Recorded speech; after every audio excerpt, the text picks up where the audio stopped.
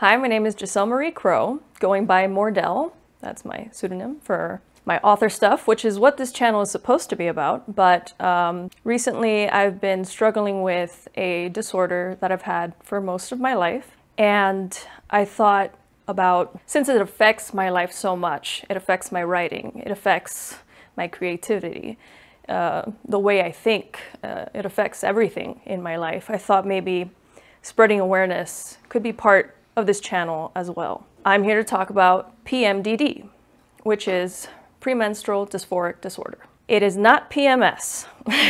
some people think it's just, oh, you're just PMSing, like some of the symptoms that, you know, a lot of my symptoms were dismissed as just PMSing for a while, or crazy woman thing. I didn't know I had PMDD for a very long time. And the reason why I'm doing this video to spread awareness is because even though I went to medical professionals and specifically told them that my episodes were cyclical. Nobody mentioned PMDD. Sure, they mentioned depression, they mentioned anxiety, uh, they mentioned, well, maybe you just have bad periods. Nobody mentioned PMDD. It was my husband who diagnosed me, okay? and that's because he did some research at the worst time of my life, I think. I'm hoping not to make this video too long, and I'm going to make other videos that'll get into the nitty gritty. You know what I mean? Like the details of how PMDD can affect relationships, how it can affect your work and uh, motherhood. Uh, yeah. So I'm, I'm not going to go into too much detail there because I'm going to save that for later because that's like a whole different, whole different thing, whole different monster. Uh, but I'll try to start with when I started to crash, when I noticed something was very, very wrong. I remember the worst time as a teenager was about when I was like 17. Uh, I remember being curled up on the couch with horrible cramps and just like I could not move. I would be in the fetal position and I was complaining to my mom and you know she gave me Midol uh, which didn't really work, and just told me to, you know, it's just PMS, you know, it's just, you just gotta get, go through it. Every woman goes through it. There were other times where I'd have these episodes of like rage. I think when I was even younger than that, I would think, you know, suicidal thoughts. I never went through with them. I never tried to do them. I guess my mentality was always, well, you know, ending things is just that. It's ending things. But I have a whole life ahead of me and things could get better. So why not? Because things are going to end eventually. that was my mentality. It wasn't because, yippee, life is great, I want to keep, you know, you know, keep going. So back then I did go through like bloating, like so much bloating that it was painful and would leave me nauseous. Uh, and again, not being able to get up or do anything really, you know, and I would just take whatever medication was in the cupboard, you know, Gas-X or, you know, something. Uh, so I didn't know what that was about. I thought, oh, maybe I inherited some stomach issues, but there was nothing wrong with me, you know. My checkups were all fine, my blood work was all fine, you know, and um, there was one time, because my allergies are so bad, I got um, a steroid shot for them. And I remember those two weeks when I had the shot, uh, I was flying. I was like, this, I feel great. Is this what normal feels like? Because this is a drastic difference from how I normally feel. I mean, I was getting up about two weeks out of the month. I'd be taking naps almost every day. Uh, no energy whatsoever. Or I'd leave things unfinished or forget things, very forgetful. Uh, short-term memory was just not good. It's still not good.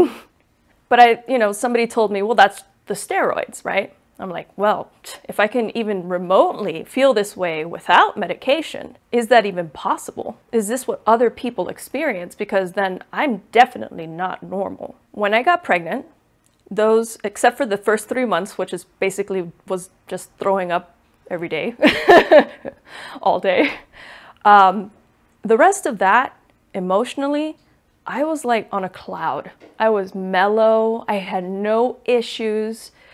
I was at peace, content. I could have just like, you know, stopped pursuing my career and I would have been like, cool, you know, as long as we can make the bills, I'm all right.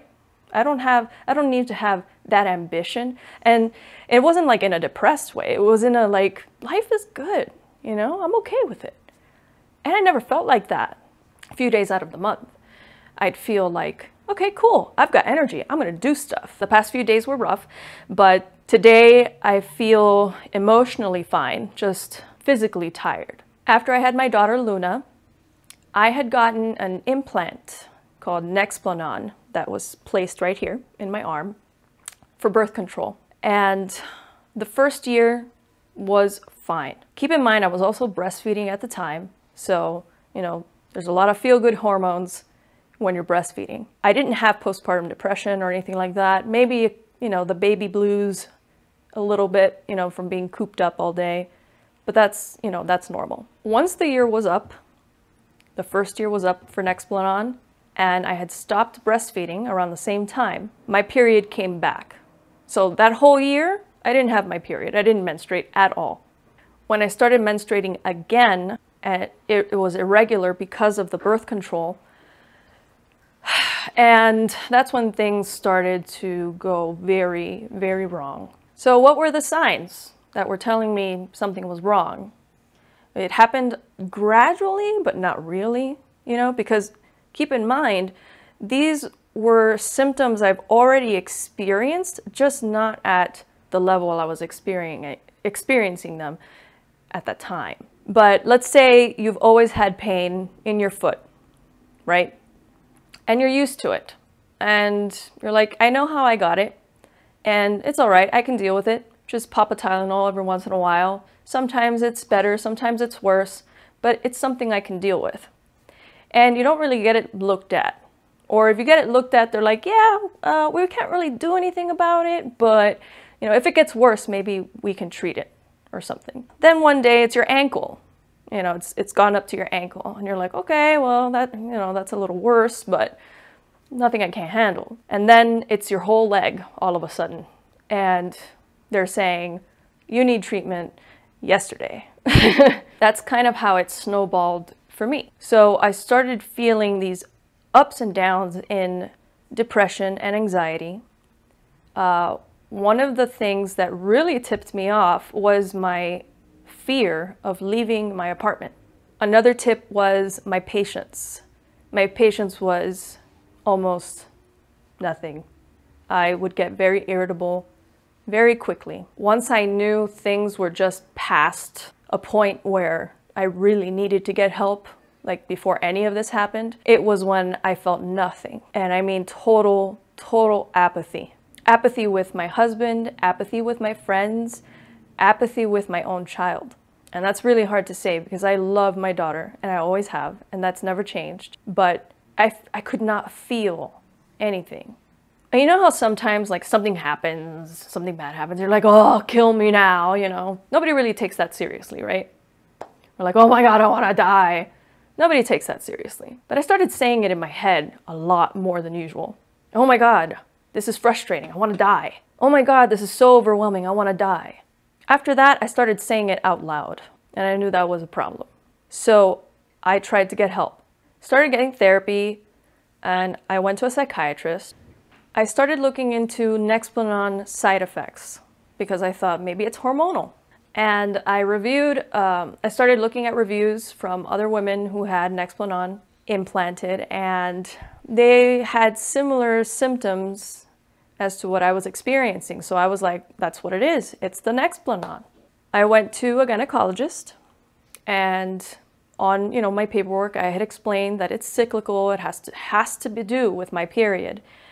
But on there as well, I had to disclose my depression issues um, and thoughts of self-harm and things like that, which was very difficult to do and very difficult to talk about this at all. She told me that I was going through a major depression episode or manic episode and that I needed help as soon as possible.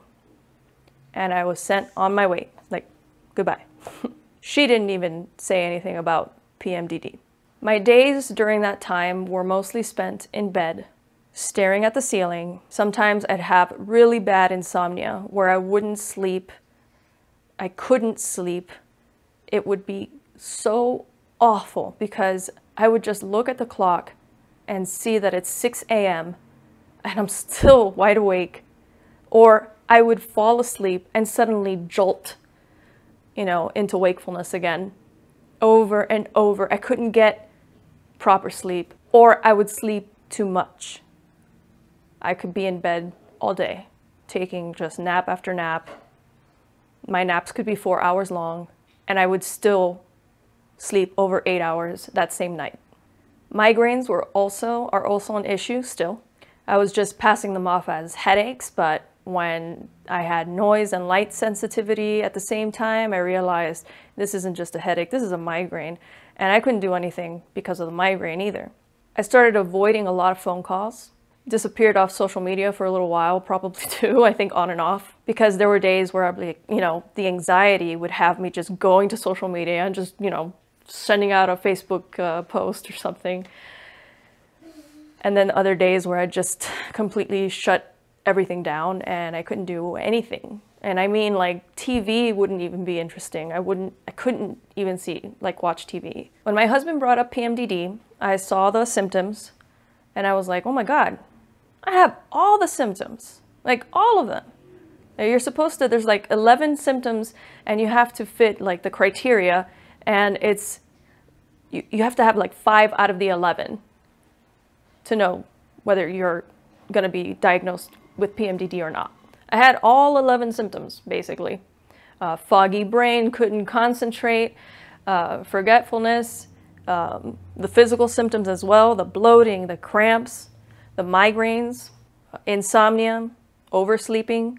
So the first step to deal with all that was to get therapy, which I had already started, and to see a doctor about getting on SSRIs. That would be medication prescribed to people with depression and anxiety. I have been on SSRIs since August of 2019. My whole family was against it.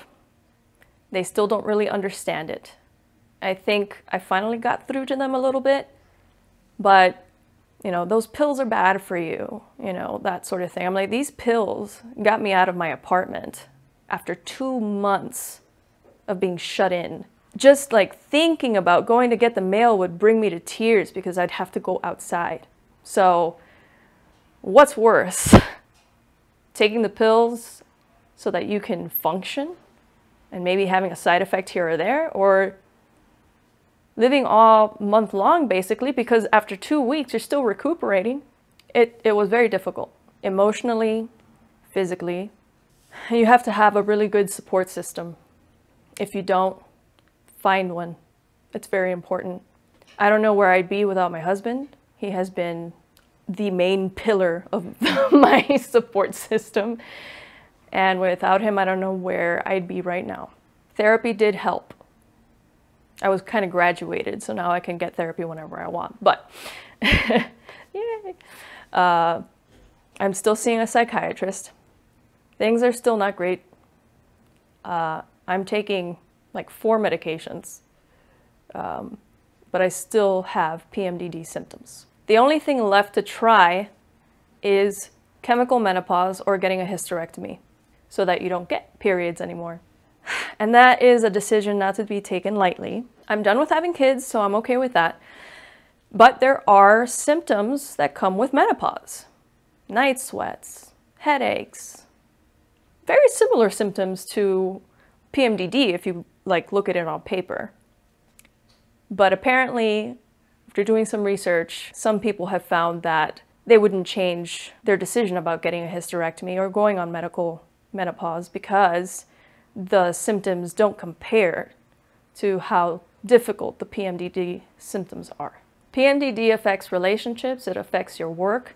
It is a debilitating disorder and it should be taken seriously. And more medical professionals should know about it. More menstruating people should know about it. Don't dismiss yourself. Don't let others dismiss you. If you think you have PMDD, start getting help. In my next video, I'll talk about how PMDD has affected my work personally. And then I'll do another video of how it's affected my relationships. And we'll see where we go from there. So, bye.